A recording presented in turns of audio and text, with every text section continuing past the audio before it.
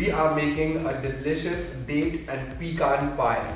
It's got that richness from the pecans, that earthiness from the dates. We're using beautiful medjool dates to make a filling. Also our date syrup, can't like do without it at, at all. Um, we're also making our own pie crust as well. It's a very quick sort of a recipe. Uh, we're going to use freezing cold good spread butter that gets cut into our flour to create sort of a flaky crust on the outside. So without any further ado, let's get right into this flaky pie crust. Alright. So before we get into this flaky pie crust, I want to show you something that is pretty pretty important before we start this recipe. I have this tart mold um, that I will, I'll be using to shape my pie crust. You can use a tart mold or you can have your own pie crust as well. Uh, so this is quite important. To make the filling, we're going to be using a food processor and we need a pretty handy sort of a tool called a dough cutter just so that we can cut our butter into our flour. Okay, so I'm just going to leave this over here for a second because we're going to be making this pie crust. You might have noticed that I'm not using a bowl over here uh, and that's just because it's easier when the surface area is large for me to see. So let me just walk you through a few of the ingredients that we need for this pie crust. This is 2 cups of regular all-purpose flour. This is 3 tablespoons of caster sugar and just a teaspoon of our pink Himalayan rock salt. Over here, I have 3 tablespoons of just cold, cold water and 2 tablespoons of regular neutral vegetable oil. Before we get ahead of ourselves, we, go, we need to go ahead and mix up these ingredients together. So the sugar, the salt, everything will go in together. Uh, I find it easier to just use my hands as well. So I'm just going to put on some gloves, Grey's Anatomy style. So I'm just going to go in with my fingers and I'm going to mix all of these ingredients up together because we don't want the salt to be just in the corner where, uh, you know, when the butter hits it, it can't dissipate as much as it does when it's dry. So we need to make sure that all of the dry ingredients are well mixed together. Alright. That looks pretty good. I'm gonna get rid of my fork because I don't need that anymore. This is going to be a lifesaver at this point, okay? So I'm gonna grab my butter out of the freezer. We don't want to keep it out right until the time that we need it, right? So I need it right now, so that's why I'm gonna take it out. Butter, super duper cold. Like it's cold, it's it's I can't even press it with my fingers, that's how we want it. These chunks are slightly bigger, so what I'm going to do is I'm just going to cut them up a little bit now here like this and I'm just going to distribute them all over this flour.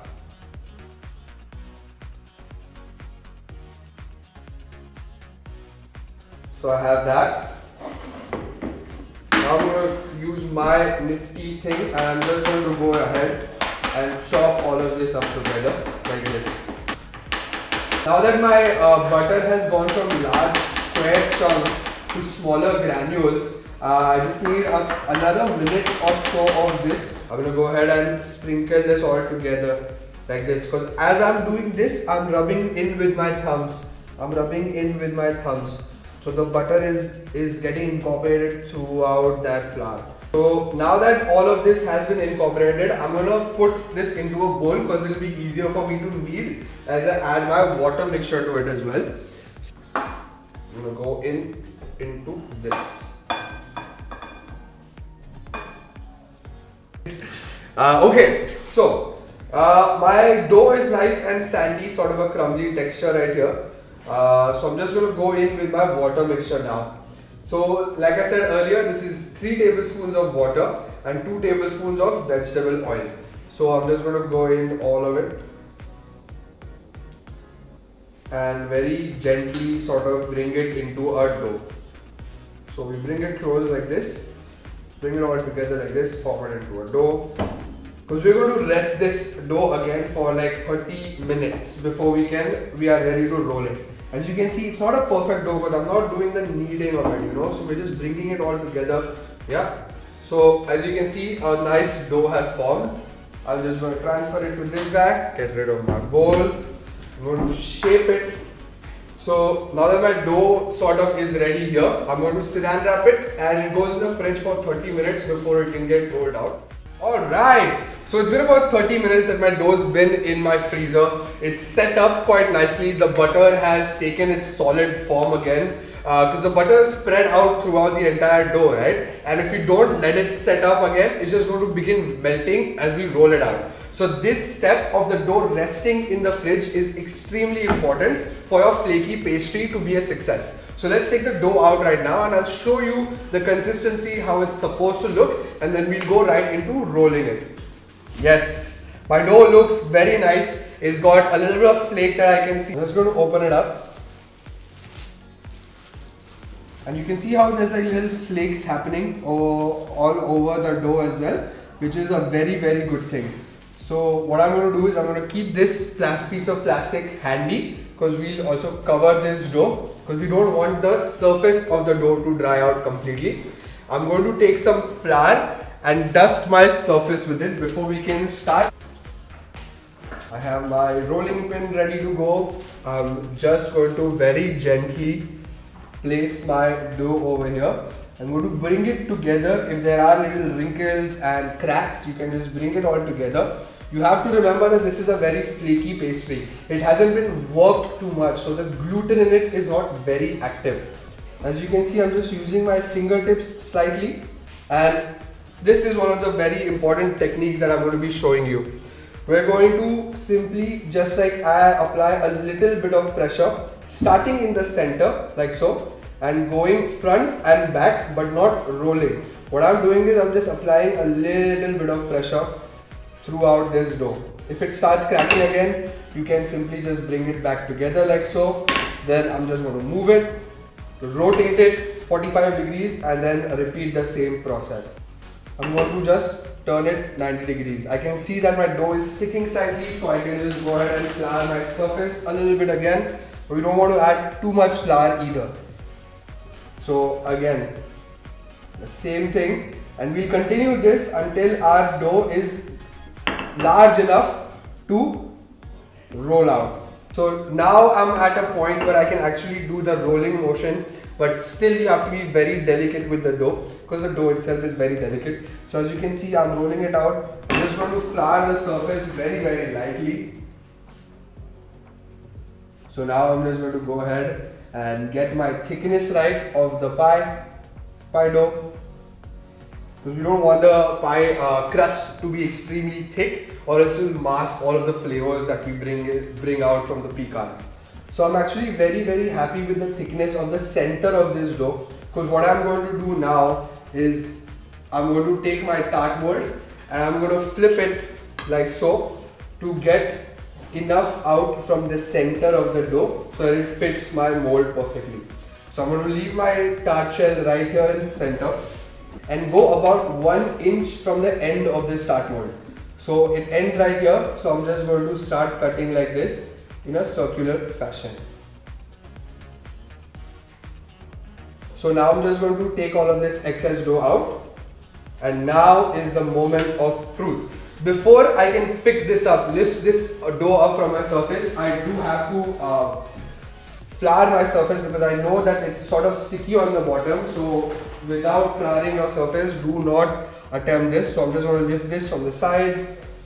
Now is the moment of truth. So what I'm going to do, I'm going to use my rolling pin as a helping hand for me to lift my dough from the surface. So I'm going to keep my dough at the end of this circle I'm going to take this dough, I'm going to put it on top like this, you know, and then we're just going to roll it up slightly.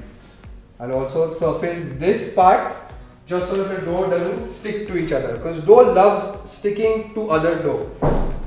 So roll it, roll it, roll it, roll it, roll it, roll it to a point where you can lift it up like this, right? So now that is done, we're going to place this end of the dough at the end of the tart shell and begin rolling out again. You also move it slightly towards the edge. And on parts where there isn't enough dough, I can even do this, lift it again slightly, I'm just going to take a little bit of this excess because I'm not able to see how much uh, of the scalloping I should be doing. So I'm just going to take off some of this excess off, which we're going to do eventually to all of it. Now comes one of the most important parts is to even out the edges of this pie. Okay, so now what I'm going to do, before we can add our filling to this, we need to blind bake this uh, pie shell first. So for that, we're just going to take a fork and I'm just going to dock the base like so. This method is known as docking when it comes to baking. What this does is that it prevents the dough from puffing up in the center. So the air is not able to get captured in the base. So the holes help with that. So I'm just going to dock the entire surface of my pie shell like so. So this is completely docked. Now the principle is the same with this flaky pie crust, right? The butter still needs to be solid to create that sort of flakiness. And the dough's been out for a while now. We've been rolling with it, we've been playing around with it. So now this dough needs to go in your fridge again for about 10 to 20 minutes before we blind bake it in the oven. I'll see you guys back again here in the next 20 minutes. I've already begun preheating my oven at 200 degrees Celsius, but we'll be blind baking this at 180 degrees Celsius. So into the fridge, this goes and I'll see you guys in a second. So our pie crust has now been in the freezer for about 15 minutes and my oven's completely preheated. So now it's time to blind bake it. So now I'm going to bring out my pie crust and it goes right in the oven and then we'll get into making our filling right here. So this pecan pie filling is absolutely the most important thing in this pie because if this filling doesn't taste good, nothing else that we've been doing here matters at all. In order to make this pecan pie filling taste absolutely smashing, I'm going to be using dates. Uh, we're not going to be adding any refined sugar. This goes out. We're going to be using natural sweeteners with our date syrup and our medjool dates. So to start, we need a food processor. We will go ahead and open up our dates and we'll de-seed them. So to de-seed these, you don't want this pith I'm just going to take that off and as I do that I'm just going to break it apart like this. Right in. This guy going to okay so I'm going to go ahead. So this is about 3 4 cup of our uh, de-seeded medjool dates in the food processor. To this I'm going to add a half a cup of date syrup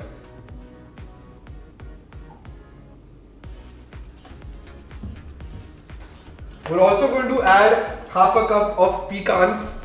So I'm going to take a few pecans. And the rest of these are going to go inside my pie. So these go in. The last but definitely not the least component of this batter is our ground flaxseed. So we'll need 2 tablespoons of our flaxseed powder.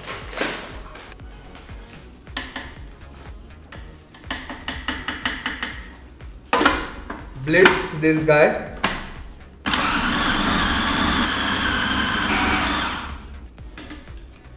So my pie crust has been blind baking in the oven for about 10 minutes at 180 degrees.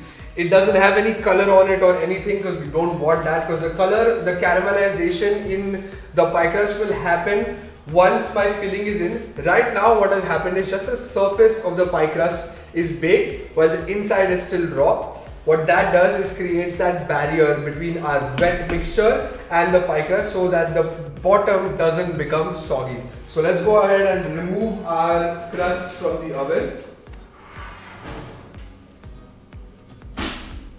So my filling is now ready. You can see how it's nice and thick but as it goes into the oven, it's going to release a lot of the moisture and become the perfect sticky saucy sort of a consistency and it's going to encapsulate all of the pecans that we're going to add on top.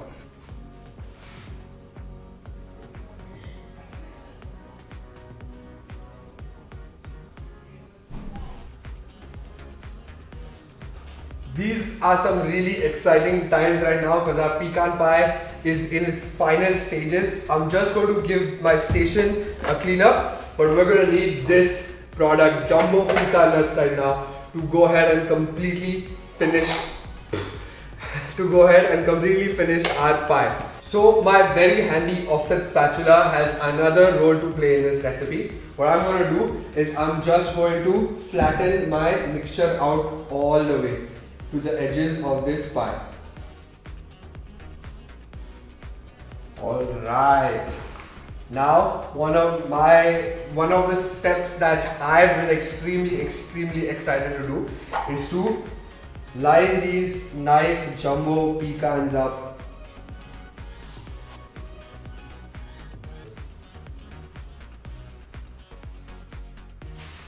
So I've assembled this gorgeous looking pecan pie. I can't wait for it to be completely baked so that I can enjoy it, my beautiful colleagues can enjoy it. For that, this needs to go in the oven at 200 degrees Celsius for about 12 to 15 minutes.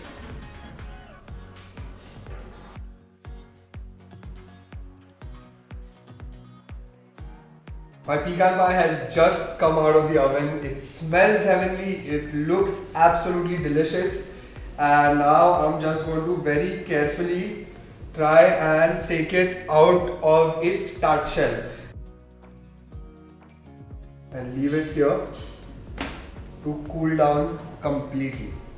Once this is cool, then we can get right into this with a nice slice of pecan pie. Can't wait for it. My pecan pie has been cooling down. It's completely, completely cooled down. Uh, the tart bottom is still uh, over here. I don't know if you can see it on camera, but what I'm going to do is I'm going to cut a nice big slice of this. Okay, ready? So when you reach the end of like of, of your or rather the edge of your pie, I, all you have to do is add extra pressure and go down like that. Bring your knife back. Action. That beautiful filling is over here. My crust is nice and fully baked. My outside is deliciously crunchy. My pecans look absolutely delicious. I just can't wait to dig right in. That's the last video from our Thanksgiving series guys. I hope you enjoyed what we're trying to do over here in Urban Platter's Simply Good Cooking Show. But stay tuned, tell your friends, and don't forget to hit that subscribe button.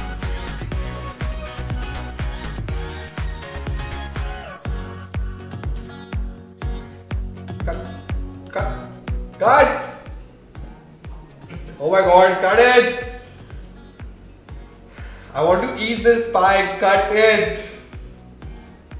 Cut! I'm good.